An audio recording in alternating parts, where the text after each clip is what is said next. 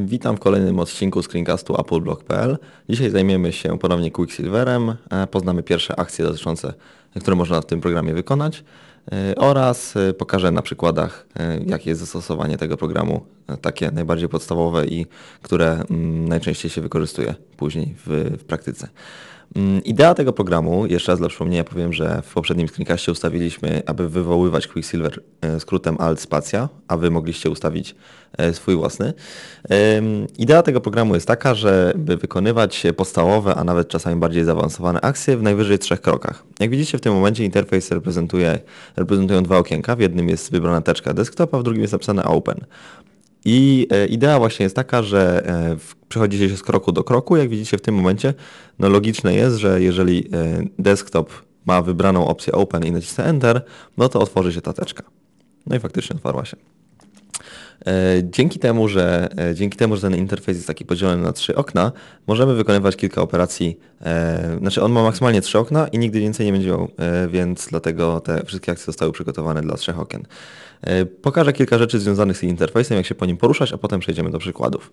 Mm, oczywiście wywołuję Quicksilver za pomocą Alt Spacja. Po otwarciu mogę zacząć pisać na klawiaturze od razu to, to, co chcę napisać. No i wybierzmy na przykład, że chciałbym wybrać teczkę dokumenty, to napiszę do i w tym momencie skończyłem pisać na DO. Jak widzicie, tutaj DO jest podświetlone, jakaś Dorota się podświetliła, e, ale dokumenty są tutaj niżej. Otwarło się takie okienko, możemy przejść strzałkami w dół niżej i wybrać dokumenty i mamy zaznaczone dokumenty. E, gdybym oczywiście napisał dokument doc, no to już wtedy się dokumenty podświetlą, no bo na DOC nie było żadnych innych, żadnych innych nie było mm, pozycji dla, dla tych pierwszych trzech liter. E, ponieważ e, ten program e, operuje właśnie na tych trzech krokach, dlatego żeby przejść do drugiego, kolejnego kroku naciskam tabulator. Jak widzicie, pierwsze okno przestało być aktywne, w tym momencie jestem w drugim kroku. Naciskając strzałkę w dół, mm, pokażę Quicksilver, jakie akcje mogę, co mogę wykonać z tym pierwszym oknem, czyli w tym momencie mając tutaj podaną teczkę, mam tutaj kilka rzeczy, między innymi open mm, albo na przykład przeszukaj search contents, czyli przeszukaj zawartość, rename, czyli zmień, zmień, zmień nazwę oraz na przykład get info, czyli zobacz informację. Zobaczmy na przykład informację, czyli klikam e, get info, znaczy klikam, przepraszam, zaczynam pisać get info. Jak widzicie get info się podświetliło już w tym momencie i jest napisane w tym oknie e, zaznaczona jest ta akcja. Po naciśnięciu enter pojawią mi się informacje na temat teczki mojej dokument, którą, e, którą wybrałem w pierwszym kroku. Dalej poruszanie się po interfejsie e, polega na, tak jak powiedziałem, tabulator w prawo i shift tabulator w lewo, aby przejść między tymi oknami bez dotykania myszy. To jest e, bardzo przydatny skrót. E, aby zamknąć okno, oczywiście można nacisnąć Alt Escape, Alt Spację, czyli skrót, który używacie do wywoływania Quicksilvera. U mnie to jest Alt Spacja, albo ewentualnie można nacisnąć przycisk Escape. Działają tak samo. Czasami zdarzy się, że będziecie musieli w tym oknie na przykład, albo w którymkolwiek z tych trzech, na razie dwóch widocznych okien napisać coś.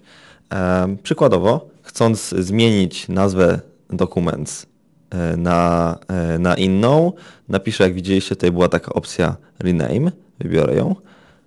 I tutaj, jak widzicie, się podświetla i zaczynam, zaczynam już pisać. Tutaj się pojawiła ta opcja, ponieważ jeżeli zmieniam nazwę, no to oczywiste jest, że w tym okienku będę już coś pisał. Nie będę zmieniał dokumentów, bo to niezdrowo. Y, za pomocą Escape wyszedłem na samą górę. Jak widzicie, znowu mam dwa okna po uruchomieniu Quicksilvera i teraz przejdźmy do przykładu numer jeden. E, najbardziej podstawowe zastosowanie Quicksilvera to jest uruchamianie aplikacji, ponieważ e, Quicksilver działa, skanuje nasz katalog z aplikacjami, działa to bardzo szybko i kilka rzeczy, które na ten temat e, można się dowiedzieć. Po pierwsze, jeżeli napiszę iChat i nacisnę Enter, domyślną akcją jest Open, czyli wybierając iChat, naciskając Enter, pojawi mi się iChat. Ale można również zrobić to w ten sposób, żeby na przykład w tym momencie widzicie tutaj adres book nie działa, nie jest uruchomiony. Możemy uruchomić adres book za pomocą, e, za pomocą Quicksilvera. Wpiszę add, add i pierwszą pozycją jak widzicie jest adres book. Jest tutaj podświetlony open, naciskam enter, adres book się uruchamia i no i jest. Zamkniemy go. E, kolejną rzeczą, którą czasami się, ponieważ po wpisaniu A jest pierwszy alarm clock, albo na przykład po wpisaniu Q pierwszy jest, pierwszy jest taki gra Tetris, można również przycisnąć tą literę dłużej i wtedy uruchomi się ten program. Czyli jeżeli byłby to adres book, no alarm clock jest na pierwszej literze, no więc niech będzie. Wywołuję Quicksilver i naciskam dłużej A i po prostu alarm clock się uruchamia. O, jest uruchomiony niestety, więc, więc się nie uruchomi ponownie, ale zobaczmy z na przykład tym, tą grą Queen. Naciskam Q dłużej. Dosłownie wystarczy, żeby ten przycisk był dłużej naciśnięty niż normalnie się pisze. No i ta gierka e, Queen się zaczyna uruchamiać. Tutaj w doku. Bardzo fajna przy okazji, możecie sprawdzić. Wersja multiplayer, e, można grać przez sieć oraz przez Bonjour. Bardzo dobre na nudne, nudne popołudnia w pracy. Um, ok, wracamy do czystego biurka e, i przykład numer dwa to będzie na przykład otwieranie teczek. Tak jak już pokazałem Wam wcześniej, możemy napisać tutaj document, naciskając open otworzy nam się ta teczka. Jeżeli, jak widzicie, bardzo szybko się to dzieje, nie trzeba, e, nie trzeba zagłębiać się nigdzie w strukturę katalogu i klikać tutaj movies na przykład, aby dostać się do filmów. E, po prostu otwieram Quicksilver, piszę movies, enter. Domyślną akcją jest open, więc się otwiera od razu. E, kolejnym przykładem to były wszystko przykłady na jedno okno, prawda? Operowaliśmy w ramach tego pierwszego okna, więc może zobaczmy coś takiego bardziej rozbudowanego na podstawie trzech okien. Na, ten, na tą potrzebę zrobię sobie zdjęcie biurka. Tutaj pojawi mi się Picture 1, jak widzicie jest zdjęcie. Mm, no i w tym momencie e, wywołuję Quicksilver. E, istotne jest to, abyście mieli zaznaczony ten plik. On musi być zaznaczony w Finderze, bo będziemy do Quicksilvera przekazywać to zaznaczenie z Findera. Wywołuję Quicksilver i naciskam w tym momencie jabłko i G. Za pomocą tego skrótu klawiaturowego przekazałem do tego pierwszego okienka pliki z Quicksilvera. Oczywiście można go tu przeciągnąć, no ale nie jest ideą poruszanie się za pomocą klawiatury kiedy i, i przeciąganie równocześnie. E, czyli jeżeli byłem na przykład w desktopie i nacisnąłem jabłko G, jak widzicie ten plik został tutaj przekazany do, tej do tego pierwszego okna. Naciskam tabulator i zastanówmy się co możemy zrobić z tym zdjęciem. Szczałka w dół nam pokaże co możemy zrobić, jest tutaj masa opcji. Między innymi, e, między innymi coś co mnie interesuje, czyli rename.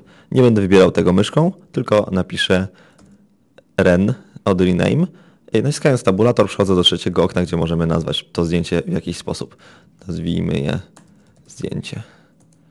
No jak widzicie jest zdjęcie, prawda, cały czas, e, cały czas jest to ten sam plik. Zmieniliśmy mu nazwę za pomocą Quicksilvera właśnie. Um, ok. On podał się od razu tutaj automatycznie do tej pierwszej, do tej pierwszej akcji, ponieważ na tym skończyliśmy e, ostatnie wykonywanie akcji w Quicksilverze. Więc zróbmy coś z tym plikiem w tym momencie. Na przykład, ponieważ jest to zdjęcie, przenieśmy go do teczki, e, przenieśmy go do teczki Pictures. Naciskam tabulator e, i wpisuję move. Move. Jak widzicie, move od przenieść, oczywiście po angielsku, jest, podświetliło się pierwsze i mam dwie opcje. Move to i tutaj w trzecim oknie będziemy wybierać zdjęcia, ale mam także move to trash, usunięcie po prostu tego zdjęcia. Po naciśnięciu zdjęcie znika, znajduje się w koszu, ale wrócimy z nim z powrotem, bo e, no co to za przykład bez zdjęcia. Jak widzicie w tym momencie nie mam tutaj żadnego zdjęcia, znaczy nie mam żadnego pliku, dlatego mogę nacisnąć jabłko e, zaznaczony Finder, jabłko G, zdjęcie się podaje, tabulator, move, tabulator i e, w tym momencie wpiszę pictures. Po naciśnięciu Enter zdjęcie zniknie z biurka, pojawi się w pictures, zobaczmy, jest nasze zdjęcie. Teraz można je przenieść w drugą stronę, także dokładnie w ten sam sposób. Uu, za szybko. Desktop. No i wróciło z powrotem na biurko. Mm, w jednym z kolejnych screencastów pokażę w jaki sposób manipulować zdjęciami, bo jest to bardzo przydatna funkcja i e, na pewno no, przeze mnie jest bardzo wykorzystywana. Co jeszcze, co jeszcze można by wiedzieć? E, na przykład e, w interfejsie, kiedy zachodzi potrzeba napisania czegoś w pierwszym oknie, nacisnąć trzeba kropkę i wtedy to okno mm, podświetli się. To jest bardzo przydatna opcja, ponieważ mm, na przykład można długie nazwy programów pobierać. Na przykład zaznaczmy Quicksilvera. Naciskając kropkę, cała ta nazwa jest tutaj wybrana.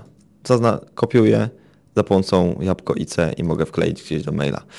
To taki mały trik z kropką do kropek, przecinków, średników i tak dalej. Do tego dojdziemy w kolejnych screencastach.